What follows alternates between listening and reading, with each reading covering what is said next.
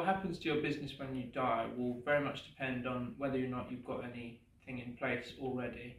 Uh, things that you could have in place are things like the Articles of Association containing things like preemption rights, um, giving other shareholders rights to buy your shares on your death. Uh, alternatively, you could have a shareholder agreement in place which deals with this whole process, and you may have other succession planning. You may have appointed someone in your company to take over when you die or when you leave. If you don't have any uh, any of this succession planning in place, and you have model articles and no shareholder agreement, then your business, your shares in the business will pass on your death in accordance with your will, or if you've not got a will, in accordance with the intestacy rules.